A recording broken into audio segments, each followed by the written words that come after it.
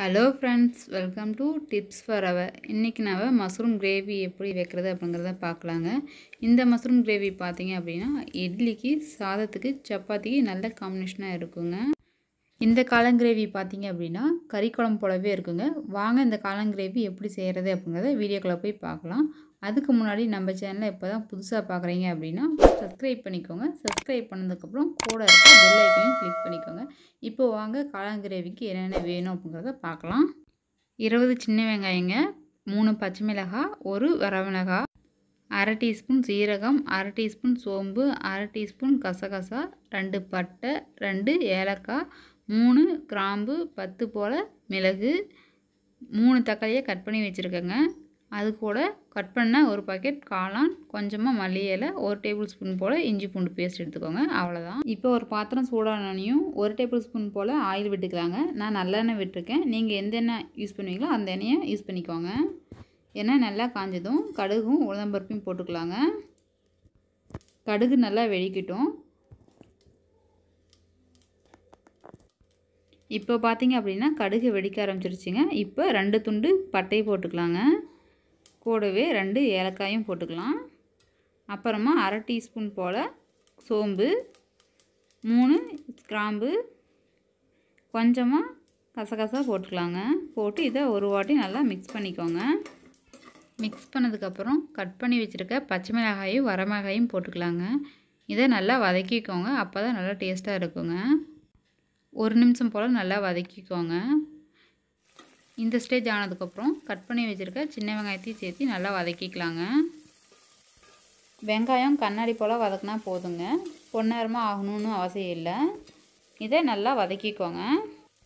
வெங்காயம் நல்லா கண்ணாடியாட்டம் ஆனதுக்கப்புறம் இஞ்சி பூண்டு பேஸ்ட் சேர்த்திக்கலாங்க. இப்போ நமக்கு வெங்காயம் கண்ணாடி போல் ஆயிடுச்சு இஞ்சி பூண்டு பேஸ்ட் ஒரு டேபிள் ஸ்பூன் சேர்த்திக்கோங்க. இஞ்சி பூண்டு பேஸ்ட் வந்து பச்சை வாசனை போகிற வரைக்கும் ஒரு நிமிஷம் போல் நல்லா வதக்கிக்கோங்க. இப்போ பார்த்தீங்க அப்படின்னா இஞ்சி பூண்டோட பச்சை வசனையெல்லாம் நல்லா போயிடுச்சிங்க. இப்போ நம்ம கட் பண்ணி வச்சுருக்க தக்காளி உள்ள சேர்த்திக்கலாங்க. நான் பார்த்தீங்க அப்படின்னா மூணு தக்காளியை மீடியம் சைஸில் எடுத்து கட் பண்ணி வச்சுருக்கேங்க. அதையும் உள்ளே சேர்த்திக்கலாம். இதை நல்லா மைய வதக்கிக்கோங்க. தக்காளி வதங்க தண்ணி எதுவும் சேர்த்த வேணாம் தக்காளியிலேருந்து தண்ணி வரும். அதுவே போதும். தக்காளி வேக கொஞ்சமாக உப்பு போட்டுக்கலாங்க. உப்பு போட்டு நல்லா வேக வச்சிடலாம் இப்போ பார்த்தீங்க அப்படின்னா தக்காளியிலேருந்து தண்ணி வந்துருச்சு. இப்போ ஒரு டேபிள் ஸ்பூன் போல் சில்லி பவுட்ரு போட்டுக்கலாங்க. கூடவே கரம் மசாலா போட்டுக்கலாம். ஒரு ரெண்டு டேபிள் ஸ்பூன் போல். கொஞ்சமாக மஞ்சள் தூள் போட்டு நல்லா மிக்ஸ் பண்ணிக்கலாங்க. மசாலாவோட பச்சை வாசனை போகிற வரைக்கும் நம்ம ஒரு நாலு நிமிஷம் போல் வதக்கிக்கலாங்க. உங்களுக்கு கொஞ்சம் ட்ரையாக இருந்ததுன்னா லைட்டாக தண்ணி தெளிச்சிக்கோங்க. அப்போது நமக்கு அடி பிடிக்காது. இப்போது கட் பண்ணி வச்சுருக்க காளானையும் உள்ளே சேர்த்திக்கலாங்க. தக்காளி பார்த்திங்க அப்படின்னா நல்லா மையாக வதங்கிடுச்சு இப்போது காளானை போட்டு நல்லா மிக்ஸ் பண்ணிக்கோங்க. காளான் போட்டதுக்கப்புறம் தண்ணி எதுவும் விட வேண்டாம். காளான் கொஞ்சம் நேரம் வெந்ததுன்னா தண்ணி விட்டுரும். அதுவே போதும். அரை வேக்காட் போல் காளான் வெந்ததுக்கப்புறம் அப்புறமா நம்ம தண்ணி ஊற்றி வேக வச்சிடலாம் கொஞ்ச நேரம் காளான் இந்த தண்ணியிலே நல்லா வேகட்டும். காளானுக்கு வந்து தேங்காயை அரைச்சி ஊற்றுனீங்க அப்படின்னா நல்லா டேஸ்ட்டாக இருக்குங்க. அதுக்கு நான் கொஞ்சமாக தேங்காய் எடுத்துருக்கேன். தேங்காயை மிக்ஸி ஜாரில் போட்டுக்கோங்க. போட்டதுக்கப்புறம் ஒரு பத்து மிளகு போல் உள்ளே சேர்த்திக்கலாங்க. அது கூட ஒரு அரை டீஸ்பூன் போல் கசகசாவையும் சேர்த்திக்கலாங்க. அது கூட ஒரு அரை டீஸ்பூன் போல் ஜீரகம் ஒரு கால் டீஸ்பூன் சோம்பையும் சேர்த்து இதை நல்லா மையாக அரைச்சிக்கலாங்க. இது போல் நல்லா மைய அரைச்சிக்கோங்க. இப்போ பார்த்தீங்க அப்படின்னா காளான் பாதி வெந்துடுச்சு. இந்த ஸ்டேஜில் அரைச்சி வச்சுருக்க தேங்காய் பேஸ்ட்டை உள்ளே சேர்த்திக்கலாங்க.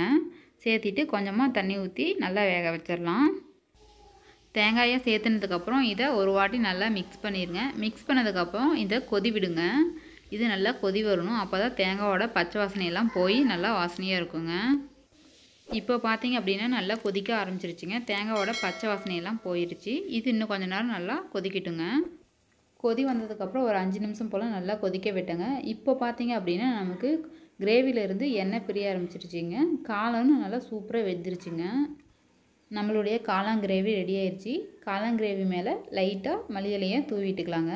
இப்போ நம்மளுடைய சூப்பரான சூடான காளான் கிரேவி ரெடி ஆயிடுச்சுங்க கண்டிப்பாக நீங்களும் இது போல் ட்ரை பண்ணி பாருங்கள் இந்த வீடியோ உங்களுக்கு பிடிச்சிருந்தா லைக் பண்ணிடுங்க உங்கள் ஃப்ரெண்ட்ஸ் கூட ஷேர் பண்ணிடுங்க மறக்காமல் டிப்ஸ் வர சேனலுக்கு சப்ஸ்கிரைப் பண்ணி கூட இருக்க பெல் ஐக்கனையும் கிளிக் பண்ணிடுங்க சப்ஸ்கிரைப் பண்ண மறந்துடாதீங்க. மீண்டும் அடுத்த வீடியோவில் சந்திப்போம். தேங்க்யூ ஃபார் வாட்சிங்